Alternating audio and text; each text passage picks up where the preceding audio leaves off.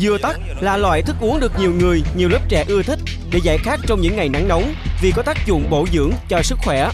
Nhưng hiện nay, nhiều người bán đã lợi dụng lòng tin của người tiêu dùng và vì lợi nhuận riêng nên họ đã gian lận trong việc chế biến nước dừa tắc. Hàng loạt các xe bán nước dừa tắc được bày bán tràn lan trên các vỉa hè, các chợ chỉ với 5.000 đồng có thể mua được một ly dừa tắc thơm ngọt. Thực tế, những ly dừa tắc thơm ngon đó lại được chế biến rất bẩn và mất vệ sinh dưới bàn tay của người bán. Thưa quý vị, là thức uống giải khát, giải nhiệt nhanh chóng vào những ngày hè nóng bức, dừa tắc đã trở thành sự lựa chọn của nhiều người, từ học sinh, công nhân, viên chức. Nhiều người tìm đến vì giá rẻ, một phần cũng vì tin tưởng bởi cái tên của món uống này. Cả dừa và tắc đều là những loại trái thông dụng ở khắp nơi nên là hóa chất hay làm giả sẽ không tồn tại. Nhưng thực tế như thế nào lại là một câu chuyện làm cho chúng tôi, những người thực hiện chương trình, phải suy ngẫm. Góc nhìn đa chiều hôm nay xin gửi đến quý vị cái nhìn cận cảnh của công nghệ làm món uống này của một bộ phận gian thương.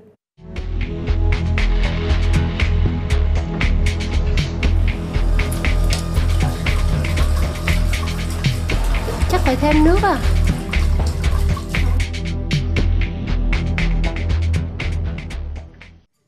Dừa tắc sau khi được chế biến xong sẽ mang ra bán. Nếu bán hết số lượng đã pha chế sẵn ở nhà thì ngay tại chỗ bán, người bán vẫn có thể pha chế thêm bằng cách đơn giản này.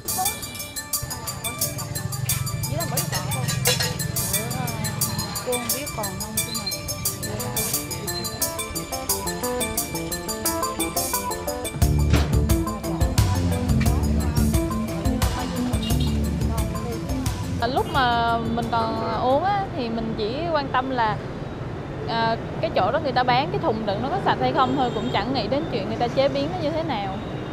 Nhưng mà khi mình mua mình uống vô mà thấy cái vị nó lạc lẽo không có là biết người ta đã pha chế không có tâm rồi thì cảm thấy bực mình và cảm thấy họ buôn bán không có tốt.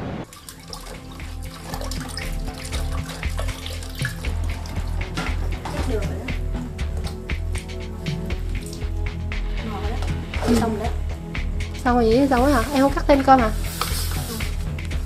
Dạ hiếu làm thêm như này đủ hả? Ừ. ờ, cũng tùy chỗ.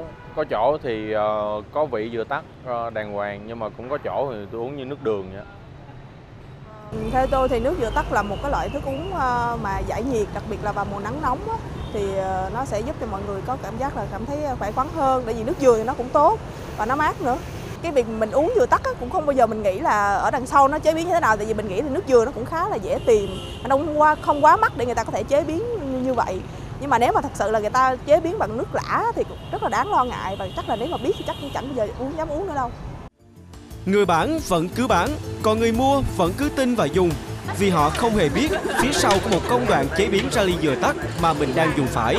Do đó, với một thức uống chế biến bẩn như vậy thì sự ảnh hưởng trực tiếp đến sức khỏe, bệnh tật là điều không tránh khỏi. Vì thế, tốt hơn hết, chính người tiêu dùng nên hạn chế hơn khi mua những thức uống giải khát được bày bán ngoài đường. Nếu có thể, hãy tự pha chế ở nhà để đảm bảo hơn. Đằng sau những ly dừa tắt mát lạnh thơm ngon chỉ có giá 5.000 đồng là quá trình chế biến siêu bẩn và mất vệ sinh. Đổ nước lã vào bất chấp, cho đường vào ồ ạt, cái đó là dùng tay trần khuấy đảo. Chỉ vậy thôi cũng đủ làm chúng ta, những người yêu thích món uống này phải hải hùng. Không phủ nhận cũng có những người bán chân chính, nhưng bằng mắt thường thật khó lòng để phân biệt được đâu là một ly rượu tắt an toàn, đúng không quý vị?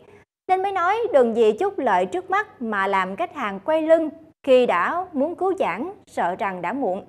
Hy vọng những thông tin vừa rồi sẽ thật hữu ích cho quý khán giả. Còn bây giờ, Huỳnh Như xin được nói lời chào tạm biệt và hẹn gặp lại ở kỳ sau.